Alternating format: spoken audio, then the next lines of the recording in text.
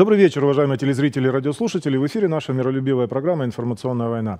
Сегодня 27 июля 2016 года, среда, и сегодня тем, э, тема нашего эфира достаточно важная и интересная. Во-первых, я хочу обратить внимание, что сегодня на Владимирской горке в Киеве э, заканчивается крестный ход – а, более 20 дней со стороны Почаевской лавры и со стороны Светогорской лавры шли люди, граждане Украины, которые символически, на символическом уровне воссоединяли разбитую, разрозненную Украину.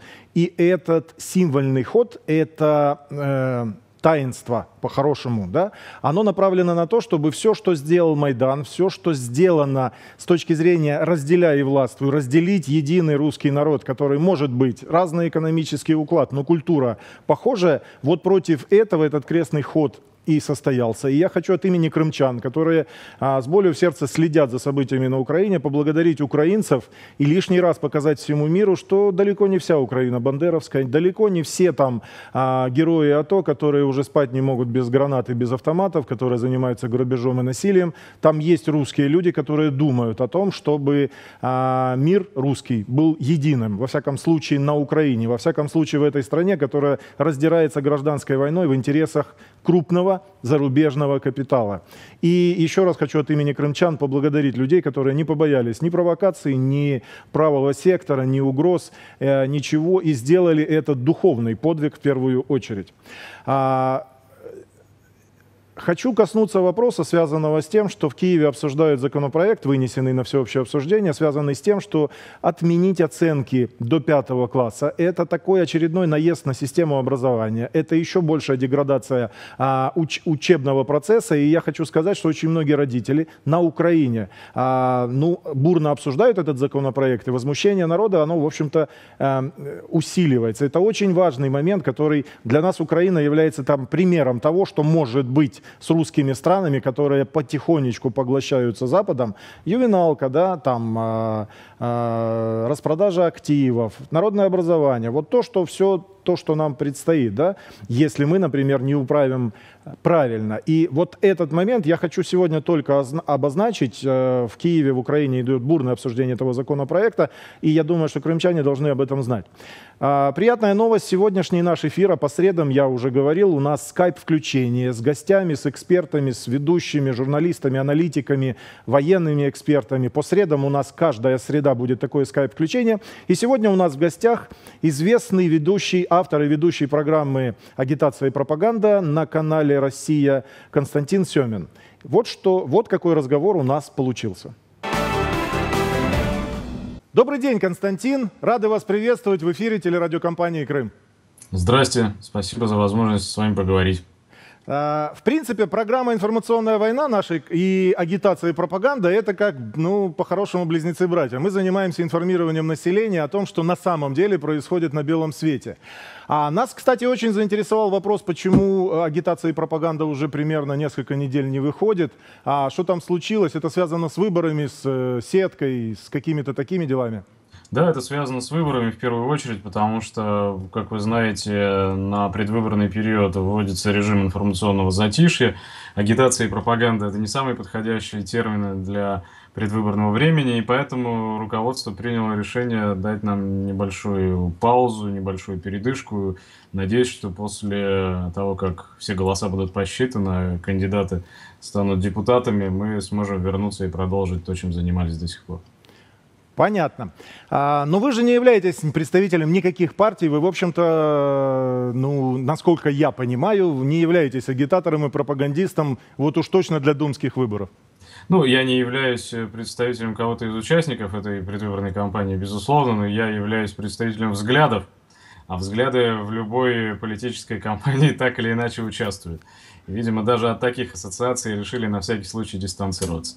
Понятно. Давайте поговорим тогда о государстве, о его угрозах, о его этапе нынешнего развития. Вот сегодня у нас конец июля, 27 июля да, 2016 э, года. Сейчас активная кампания начнется, в общем-то, буквально с понедельника. Как вы оцениваете, как э, пропагандист, как аналитик, как человек, который все равно общается с большим количеством людей, а в каком историческом моменте времени находится сейчас Россия – какие, даже не столько внешние угрозы, о них мы говорим каждый день, а какие внутренние угрозы для нас в стране наиболее актуальны и на что требуется акцентировать внимание населения сегодня прежде всего, помимо выборов? Вы знаете, я считаю, что все угрозы, с чем бы они ни были связаны, так или иначе свое происхождение имеют от экономики. И поэтому принципиально важный момент, э, о чем бы мы ни говорили, о каком бы историческом отрезке мы ни говорили, это то, что происходит в экономике, как организовано народное хозяйство. Гнилое народное хозяйство, бездарное управление экономикой способно угробить любую страну в любой ситуации. И сегодня появляется очень много текстов, мы приближаемся к столетней годовщине сначала февральской, а потом Великой Октябрьской революции. Появляется очень много текстов, которые исследуют выявляют параллели между той эпохой и сегодняшней. Так вот, для нас ценность того дореволюционного опыта заключается в первую очередь в том, что паралич в действиях государственной власти, в первую очередь применительно к управлению экономикой, э, послужил залогом всех, э, всей цепочки катастрофических последствий, которые обрушили сначала большое государство, впоследствии обернулись гражданской войной на его территории. Поэтому я считаю, что это универсальная вещь. В первую очередь необходимо думать о том, что творится с экономикой, что происходит в экономике. В экономике у нас поводов для оптимизма никаких нет. Взятый правительством Медведева курс э, либеральный, компрадорский, э, с моей точки зрения, предательский экономический курс продолжается. И если вы хотите знать мое мнение, то именно с продолжением этого курса я связываю самые опасные вызовы, самые Э, актуальные и злободневные угрозы для государственной безопасности нашей сегодня.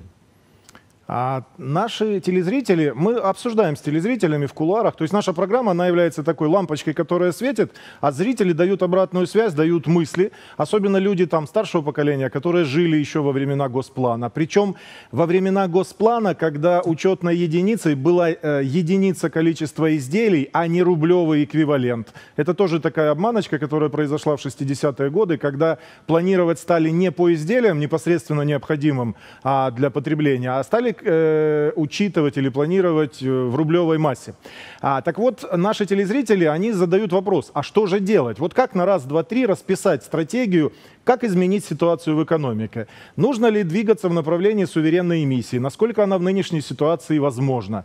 Нужно ли двигаться в сторону создания народных предприятий? Нужно ли двигаться в сторону двухконтурной финансовой системы, когда, например, государство сможет имитировать а, рубль безналичный или там какой-то алтын, я не знаю, для того, чтобы, ну, например, оживить экономику путем строительства инфраструктурных объектов, которые, ну, никак на инфляцию не влияют. То есть внизу на земле мозговой штурм штурм относительно того, как двигаться дальше, он происходит.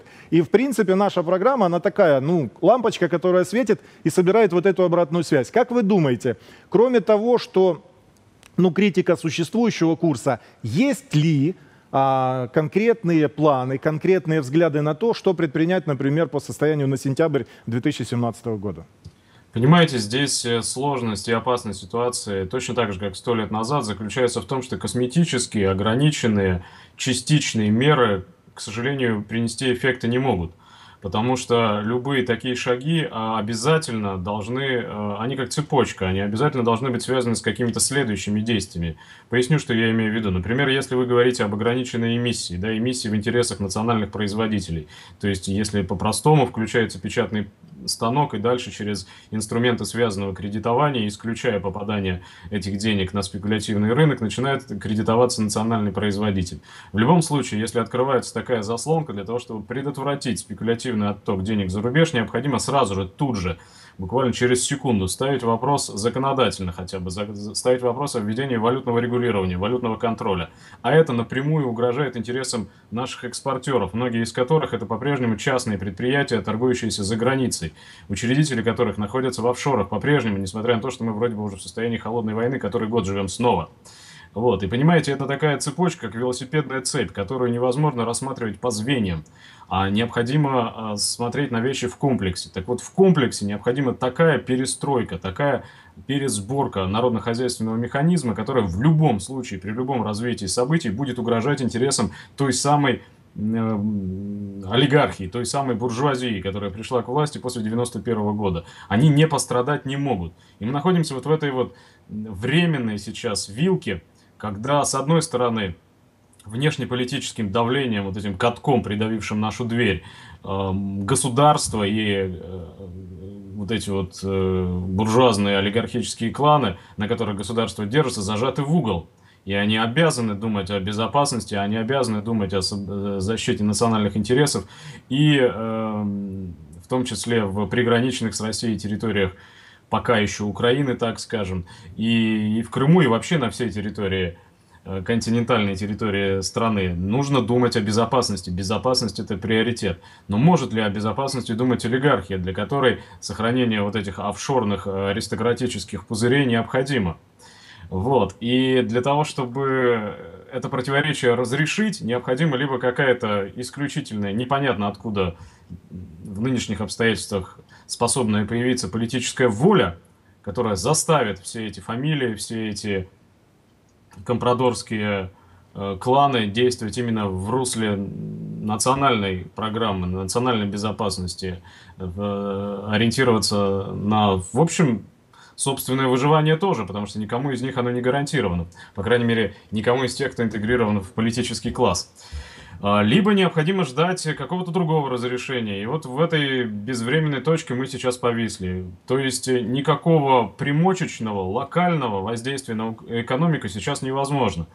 И э, второй момент, который, безусловно, связан со всеми этими вещами, это, конечно, любая перестройка экономики, если мы говорим об отходе от заветов 90-х годов, подразумевает изменение собственнического уклада э, в экономике, то есть изменение а, а, формы собственности, на которой наша экономика базируется. То есть, опять же говоря рабоче-крестьянским языком, национализацию ряда отраслей. Без национализации, без восстановления государственного контроля над стратегическими высотами в экономике невозможно то самое государственное планирование, с которого вы начали свой вопрос. А в военных или в предвоенных обстоятельствах без планирования не деться никуда.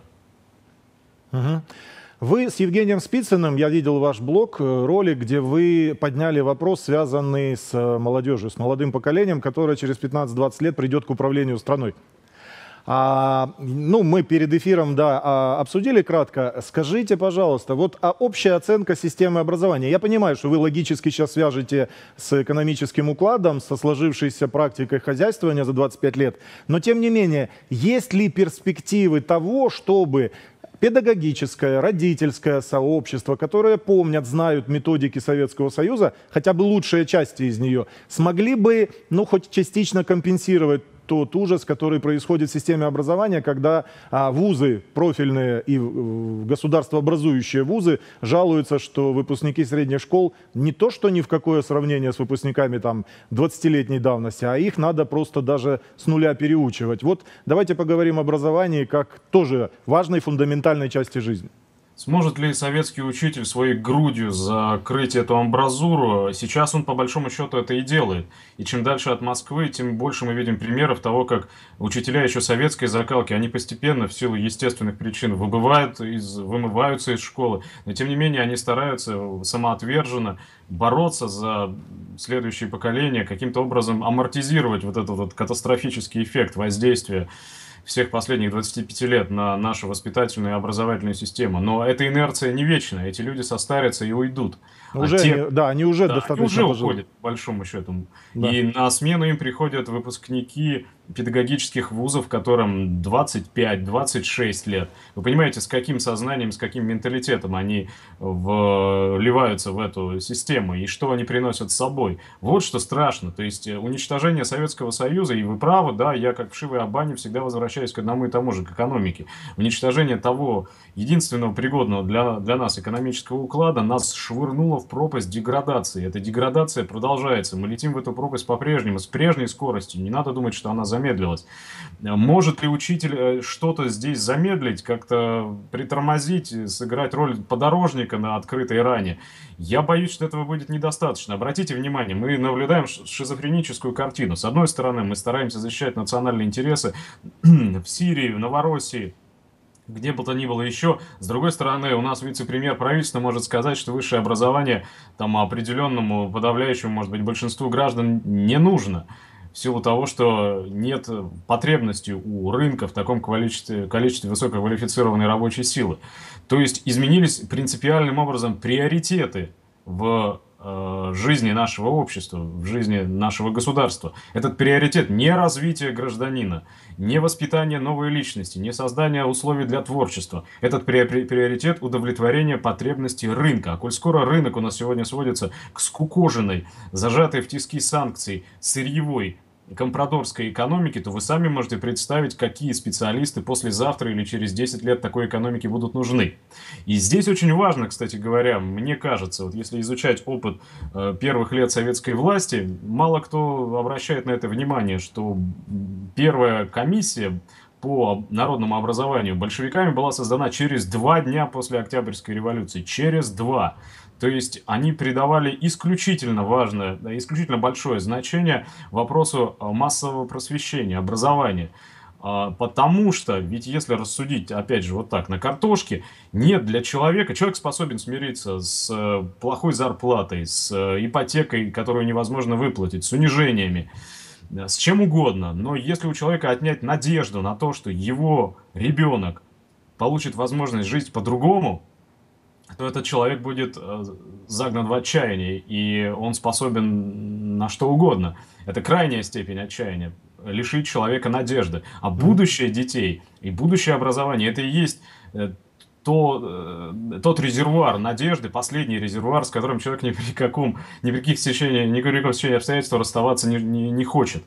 И поэтому я бы вот, э, начиная этот проект с Евгением Спицыным, мы думаем о том, чтобы приступить к съемкам фильма о происходящем сегодня в нашем образовании, мы, конечно, учитываем всю взрывоопасность темы, ее не, недооценивают на самом деле. Даже не здравоохранение, даже не безработица, даже, поверьте мне, как бы это странно и тяжело не звучало, не Украина, а именно то, что происходит в образовании сегодня. Потому что отобрать будущее у детей, это значит отобрать будущее у каждого человека в отдельности. Ну и у страны тоже. Да.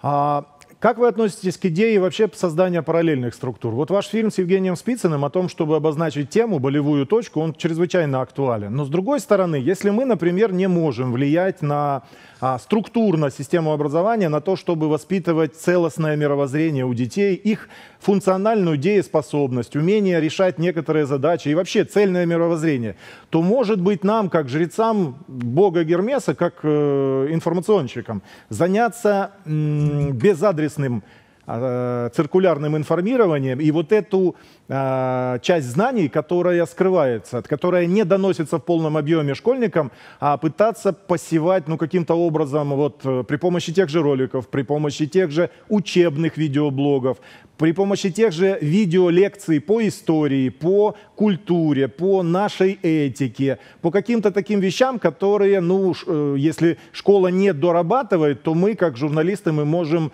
в этом смысле параллельно что-то хотя бы дополнить. Но, во всяком случае, какую-то кадровую базу среди молодежи создать. Ну, двояким будет ответ на этот вопрос. С одной стороны, конечно, никакими блогерскими или интернет-усилиями невозможно компенсировать две, по-моему, с половиной тысячи часов русского языка, которые каждому школьнику давала советская школа за 10 лет. И эти гигантские провалы в образовании, они, конечно, таким образом не лечатся. С другой стороны, и сторон, наверное, больше все-таки, чем две, когда вы говорите о параллельном государстве, это всегда почему-то у меня вызывает ассоциацию с Турцией. Там вот только что мы услышали, есть параллельное государство, когда не устраивает одно, люди снизу, ну или как-то из-под и подковерно начинают строить другое с опорой на какие-то другие центры силы, деньги и так далее. И в этом, наверное, ничего хорошего для государства нет. Но, э, и, кстати говоря, вспоминается история с хоумскулингом американским, знаете, когда, разочаровавшись в либеральной системе преподавания э, в Соединенных Штатах, некоторые жители особо консервативных штатов перестают отдавать детей в школу и учат их на дому. Тоже, думаю, не то, что нам следует в качестве ориентира для себя избрать, но с э, третьей стороны, вы знаете, опять же, Э, все то хорошее, что было построено в советские годы, когда-то ведь начиналось э, кружками, начиналось э, кружками, где пропагандировались идеи просвещения, где люди обменивались литературой, и далеко не только какой-то, знаете, там, карбонарской революционной литературой, они изучали историю, изучали точные науки, изучали народное хозяйство, ведь э, люди, пришедшие на руины Российской империи для того, чтобы создавать новое государство, к которому каждый из нас в той или иной степени имеет отношение, я говорю о Советском Союзе, они же, многие из них были по-настоящему технократами, по-настоящему подкованными профессионалами. Тот же Сталин, например, это же не был лирик, человек, который в 15 лет там начал писать стихи в Тифлисской семинарии. Нет же, не, не, не, не так. Это, это люди, которые интересовались всем, заглядывали под каждый железнодорожный вагон, вагон в каждую мартеновскую печь. И они, э, для них фраза «учиться, учиться и еще раз учиться» не была пустым звуком, она, она была наставлением к ежедневной практической деятельности. Поэтому, конечно, мы должны это делать. Роликами или текстами мы должны это делать. И, наверное, в той или иной степени и ваша программа, и наша именно этим и занимается. Занимается э, агитацией и пропагандой. То есть, по большому счету, просвещением. А сегодня вот мне из Киева позвонили перед эфиром люди и э, рассказывают такую вещь, что в Киеве сейчас э, в интеллигентных кругах широко обсуждается законопроект, который вынесен на обсуждение, в котором предлагается отменить оценки до пятого класса. То есть, ну, мотивируется тем, что дети, это очень сильно влияет на психику, а родители в шоке, они говорят, а как же тогда стимулировать детей к учебе, где критерии оценки? А в Украине, как в части России, в части русского мира, вот идут семимильными шагами в направлении вот этой вот э, деградации. Как вы оцените вот это событие в Киеве, ну, на Украине? Я думаю, что это абсолютно логичное продолжение тех реформ, которые на Украине были начаты, по-моему, даже чуть раньше, чем у нас, хотя, в общем, процессы синхронные. Когда мы говорим, что в России хорошо, на Украине плохо, это не совсем так. У нас, конечно, денег побольше, у нас инфраструктуры побольше, олигархи пожирнее, олигархов больше. Но, в принципе, мы движемся по сходной траектории. И школы наши э, разваливают по одинаковому сценарию. Только их учат одному, а нас немножечко другому.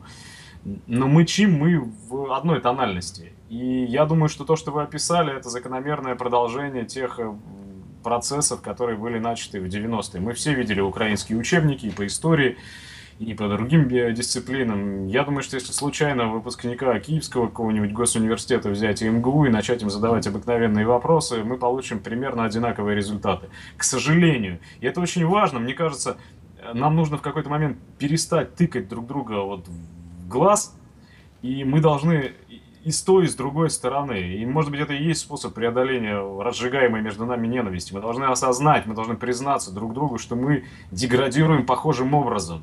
Мы только похожим образом можем эту деградацию остановить. Только сообща, кстати говоря, и русские, и украинцы. Ну, такой наш достаточно острый разговор получился. А у нас Крым, у нас все-таки светлый позитивный край. У нас вот э, на ментальном уровне, а, ну, депресс... депрессия любая, да, вот как бы плохо ни было, все равно надо завершать чем-то хорошим. А что вы можете сказать конструктивного, положительного крымчанам с точки зрения того, вот сегодня 27 июля, да, что делать сегодня, завтра, послезавтра на раз, два, три?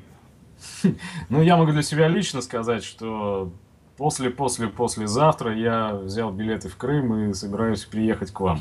Ага, очень хорошо. Считаю, да, это обязательным пунктом программы с некоторых пор для себя. Вот. А в целом, мне кажется, самый страшный грех, и в этом э, библейские истины, наверное, сходятся с мировосприятием, с мировоззрением атеистической, богоборческой, оплеванной нами сегодня советской власти. Э, один из самых страшных грехов – это уныние. Нам необходимо сохранять оптимизм в любой, даже самой безнадежной ситуации и знать, что за нами правда, и правда это рано или поздно победит. Кроме того, самые, вот эти, самые депрессивные расчеты, самые мрачные предсказания, безальтернативно мрачные предсказания, которые мы любим сами для себя делать после вычислений вот таких вот сетевых и таких э, мрачных алармистских разговоров, которые мы сейчас с вами ведем, они имеют обыкновение оказываться ложными, потому что человек предполагает, а логика истории располагает. И в конечном счете не исключено, что заблуждаюсь я и заблуждаетесь вы, а история двинется совершенно по совершенно незнакомому, не, не, непредсказуемому пути, непредсказуемой траектории. Это тоже нужно помнить и никогда не терять присутствие духа. Ну, то есть в любом случае деятельность нашу продолжать и как бы а, будь что будет, но делай, что должен, да? Совершенно верно. Спасибо большое. Очень рады вас видеть в эфире нашей телерадиокомпании. Я думаю, что с Божьей помощью все управится. Ну и мы не оплошаем. И в нужном месте нет-нет, да и да, подставим плечо. Спасибо большое. Спасибо. До свидания. До свидания. Вот такой вот разговор получился с Константином Семиным. В любом случае хочу сказать, что несмотря на все сложности, на все проблемы, которые в окружающем мире существуют, а самое главное сохранять позитивный взгляд на мир – а, делай, что должен, и будь, что будет. Я думаю, что телезрители, радиослушатели программы «Информационная война» в этом со мной согласятся.